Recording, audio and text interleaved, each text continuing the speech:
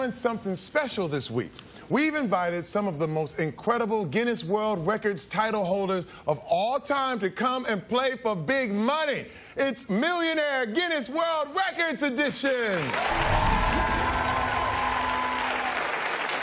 And at the end of the week, we've got one of the most famous record breakers coming in to play, game show legend Ken Jennings. Returning today is the Guinness World Records title holder for the largest collection of comic books in the world.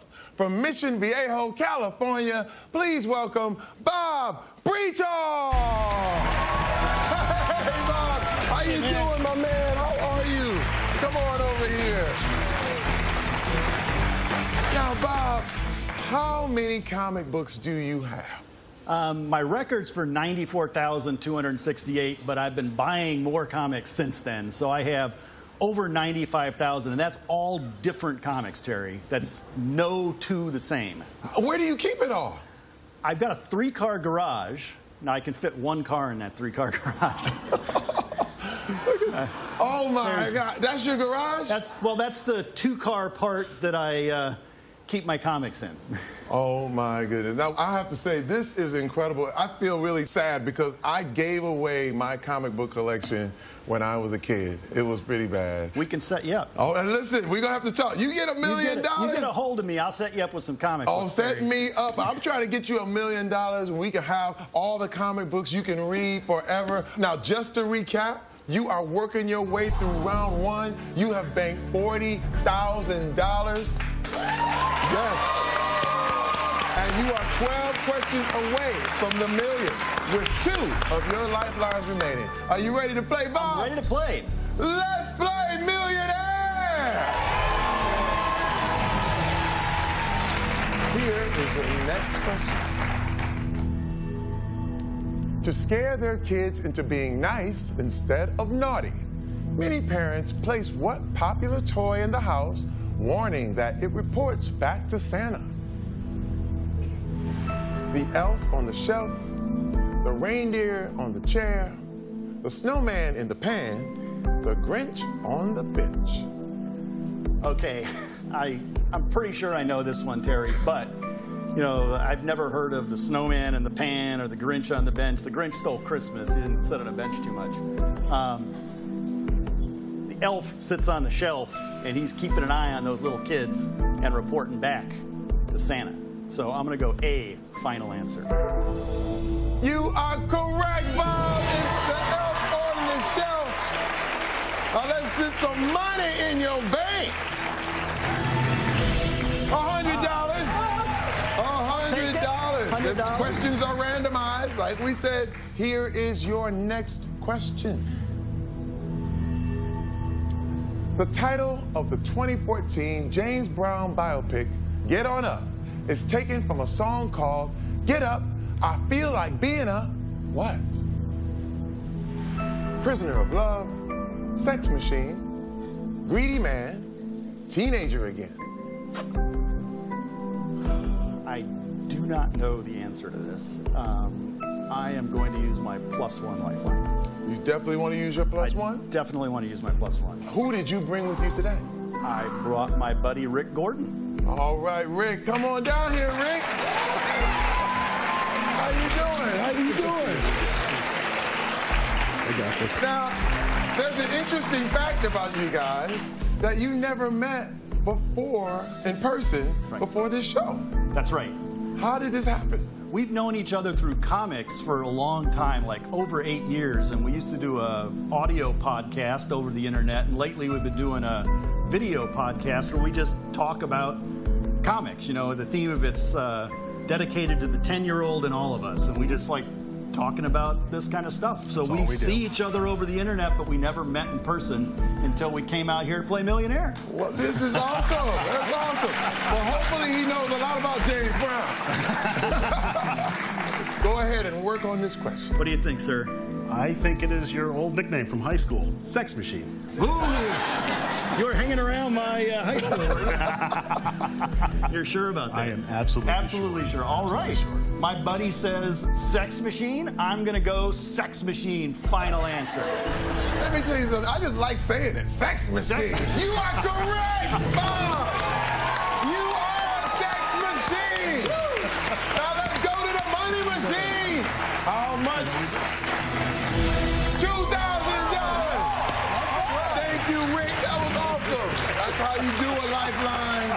That's how you use a plus one. Forty-two thousand one hundred dollars in your bank. One lifeline remaining. Here we go bedridden after a bus accident. What self taught artist learned to paint self portraits using a mirror she attached to her canopy bed? Mary Cassatt, Frida Kahlo, Georgia O'Keeffe, Grandma Moses. Another one that I have no idea about. so I think I'm gonna have to jump this question. Okay, Bob has jumped. The question is now out of play. What is the correct answer? Frida Kahlo, how much money did you jump over? $500. that's not bad. Not a problem, not bad. You are one step closer to that million dollar figure. Here is your next question. Don't touch the blowhole is a common rule of thumb for people swimming with which of these animals? Manta rays, dolphins, manatees, sharks. Well, you know what? I think you'd have a lot of other problems if you're swimming with sharks. that, uh, touching the blowhole, which they don't have, by the way, would not be something you would do. People swim with dolphins. It's a big thing. Dolphins have blowholes, but imagine they don't like it being touched. I'm going to go B, final answer. No lifelines remaining, but you did not need them. You are correct, Bob. You know your dolphins. Can we get some of that big money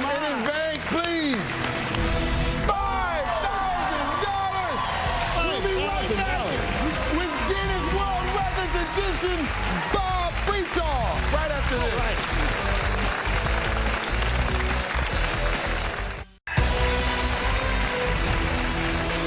Welcome back to Millionaire Guinness World Records Edition. I'm here with the man who has more comic books than anybody else in the world, Bob Bretall from California, and he's got $47,100 in his bank.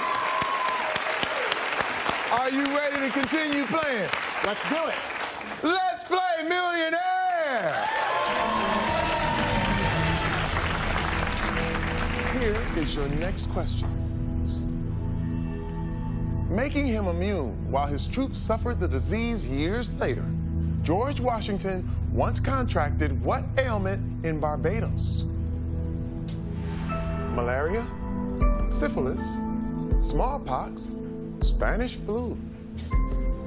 It's not smallpox. Smallpox is a very deadly, deadly ailment.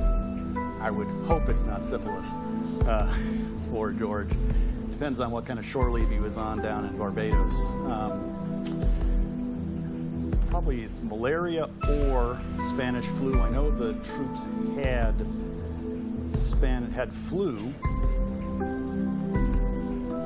Malaria is kind of a tropical disease. Are you a risk taker? Eh, a little bit. This is a big risk. You know, I'm going to go for it. I'm going to go D, Spanish flu.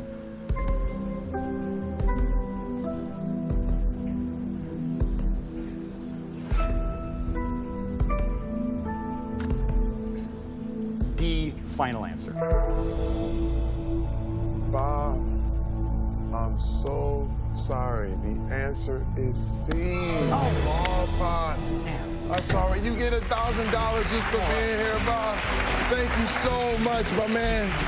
God bless you. Thank you. Bob is still a superhero.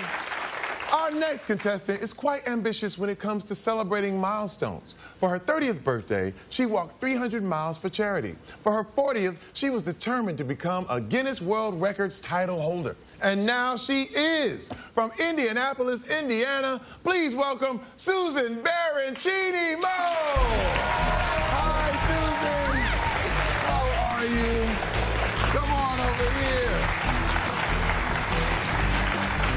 World record holder, what is your title in? Longest uninterrupted live webcast. Longest uninterrupted Yes. live webcast. Now, how long did it go? 36 hours, 23 seconds.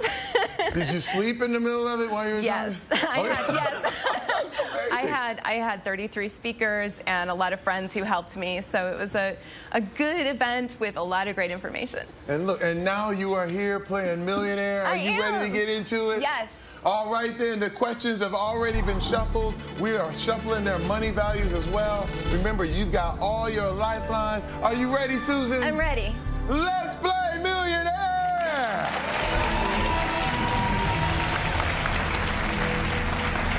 Here is your first question. Airing since 1980, Bobby Jones Gospel is the longest running show on what cable network? MTV, BET, A&E, FX. Wow. My first question, I don't know if I know anything about this, but let me think here. Okay. It's been airing since 1980, and it's the longest running show. I don't think it's MTV. That just seems like not the right thing for MTV. And it doesn't seem like it fits with A&E or FX. So let me think a little more here. Uh, my first question, I don't want to get it wrong. You have three lifelines. I know, but I don't want to use them yet. um, okay. I'm going to say B, B-E-T, final answer. You have the longest running webcast, and now you know about the longest running show. It's BET. You are correct. Let's give her some money. One thousand dollars. A thousand dollars. A great way to start the Oh, game. good. Let's keep this going. Here is your next question, Susan. A method of spying. What term is inspired by the act of secretly lingering beneath an external part of one's home? Cornice climbing, gutter clinging, eavesdropping, dormer dangling. I, I just like the word dormer dangling, but I'm pretty sure that's not the answer. um, spying, secretly lingering beneath an external part of one's home. I know my parents didn't want me doing this when I was young, so I'm going to say C, eavesdropping, final answer. And you are correct!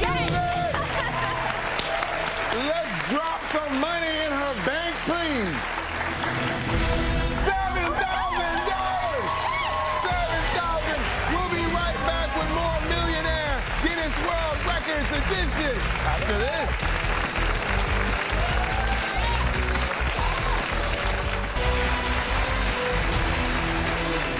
Welcome back to Millionaire Guinness World Records Edition. I'm here with the lovely Susan Baroncini Moe from Indiana, and she has $8,000 in her bank.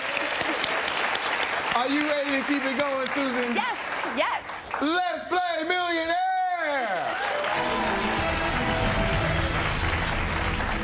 Here is your next question.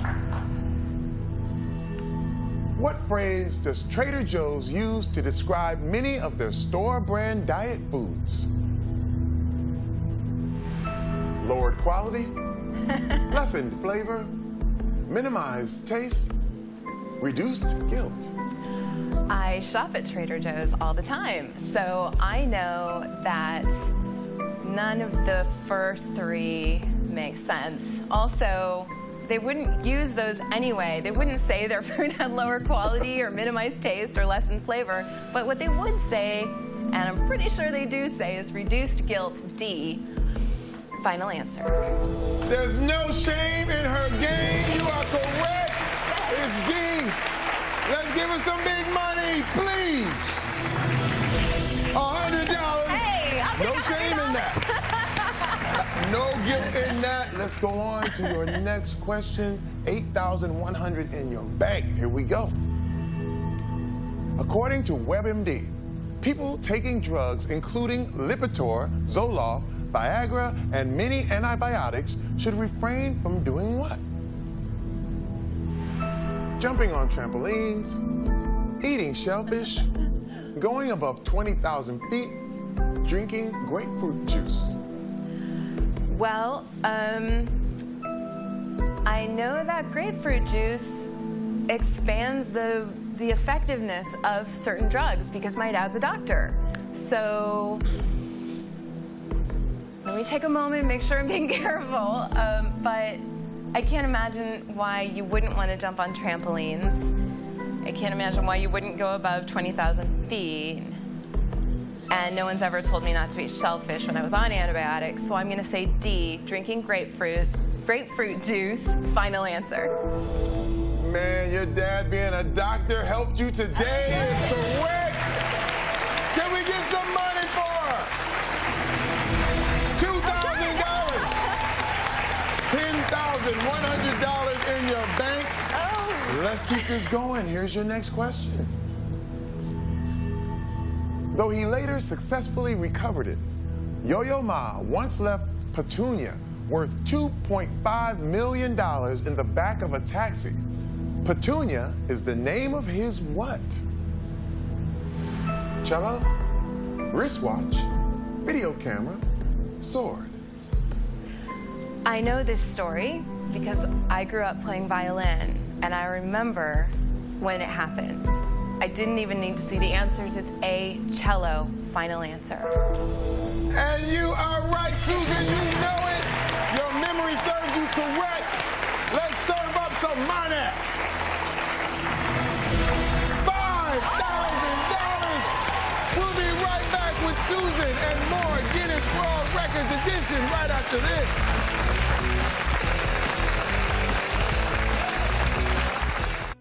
Here's your question of the day. Despite its sweet sounding name, what notoriously mean animal was named the world's most fearless by Guinness World Records? Piglet squid, cuttlefish, sun bear, honey badger. Stay tuned for the answer. The answer to that question was honey badger. To Millionaire Guinness World Records Edition. I'm here with the lovely Susan Baroncini from Indiana. She's got $15,100 in her bank. You ready to put some more in there? Yes! Let's play Millionaire! Here is your next question. Before becoming King of Sweden, Jean Baptiste Jules Bernadotte fought for Napoleon, earning the nickname Sergeant Belle Jambe, or Sergeant what? Beautiful leg, handsome ear, pretty foot, lovely arm. Wow. Belle jambe. I know because I studied French growing up, belle jambe means beautiful leg. So I'm going to say A, beautiful leg. Final answer. All your French studies are paying off right now. Susan, you're right. Let's get it some francs.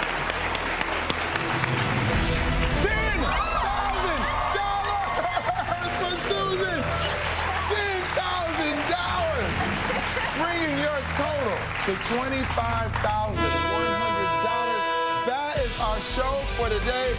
Make sure you pick up a copy of the Guinness World Records 2015 edition in stores now. We'll see you next time.